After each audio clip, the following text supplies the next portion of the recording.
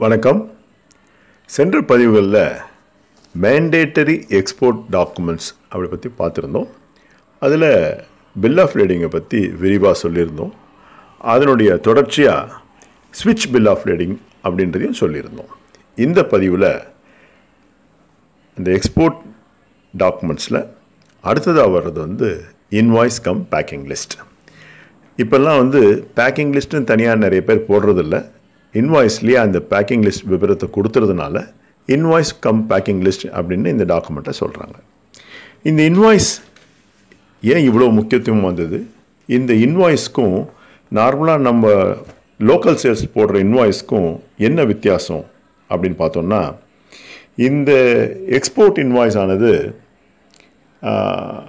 ஒரு பர்ச்சேஸ் ஆர்டரையோ இல்லை எல்சியோ பேஸ் பண்ணி தான் இந்த இன்வாய்ஸ் வந்து ஃபில் பண்ணுறாங்க முதல்ல இந்த இன்வாய்ஸை வந்து கஸ்டம் புரோக்கருக்கும் அடுத்தது கஸ்டம்ஸ்க்கும் அடுத்தது ஃப்ரைட் ஃபார்வர்டருக்கும் கடைசியாக பையருக்கும் வேண்டிய எல்லா தகவல்களும் இந்த ஒரு டாக்குமெண்ட்லேயே அடங்கிடும். என்னென்ன தகவல்கள் இருக்கும்? முதல்ல ஷிப்பர் அதாவது எக்ஸ்போர்ட்டர் யார்? அவருடைய அட்ரஸ் என்ன? அவருடைய ஐஇ கோட் நம்பர் என்ன? இந்த மாதிரி விவரங்களில் ஆரம்பித்து அதுக்கு ஒரு நம்பர் ஒன்று அசைன் பண்ண சீரியல் நம்பர் ஒன்று அசைன் பண்ணியிருப்பாங்க. அது தவிர பையர் யார்? கன்சைன் யார்? அதாவது ஒருத்தர் வந்து ஒரு பார்ட்டி வந்து இந்த கன்சைன்மெண்ட்டுக்கு உண்டான பணத்தை கொடுக்கலாம். ஆனால் அந்த சரக்கு வந்து இன்னொருத்தருக்கு போய் சேர வேண்டியதாக இருக்கும். அது பேர் வந்து பையர் அதர் தேன் கன்சைனி அப்படின்னு சொல்லுவோம் அதாவது பொருளுக்கு உண்டான வே காசை கொடுக்க போகிறது ஒருத்தர் ஆனால் பொருளுக்கு வந்து இன்னொருத்தருக்கு போய் சேரணும் அப்படின்ற மாதிரி கான்ட்ராக்ட் இருக்கும்.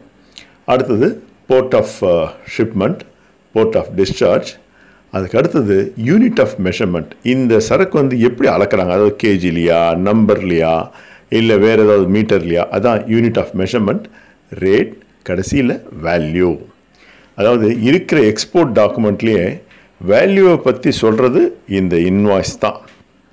இது கரெக்டாக நம்ம செய்யலைன்னா எல்லா இடத்துலையும் இதுக்கு வந்து நம்ம இந்த டிரான்சாக்ஷனுக்கு ஏதாவது ஒரு தொந்தரவு வந்துக்கிட்டே இருக்கும். அதனால தான் இது இந்த இன்வாய்ஸை ப்ரிப்பேர் பண்ணும்போது அதிக கவனம் தேவை.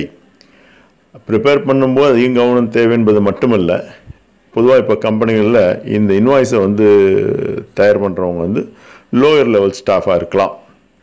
ஆனால் அதில் சைன் பண்ணக்கூடிய அதிகாரம் வந்து ஒரு சீனியர் அஃபிஷியலுக்கு இருக்கலாம். அதனால் யார் இந்த டாக்குமெண்ட்டை கையெழுத்து போடுறாங்களோ அவங்களுக்கு தான் முழு பாத்தியதே அதாவது லயபிலிட்டி அப்படின்னு சொல்லலாம். அதனால் சைன் பண்ணுறதுக்கு முன்னாடி இந்த இன்வாய்ஸில் இருக்க எல்லா இன்ஃபர்மேஷனையும் ஒரு தடவைக்கு ரெண்டு தடவை சரி பார்த்துட்டு அப்புறம் சைன் பண்ண வேண்டியது. தேங்க்யூ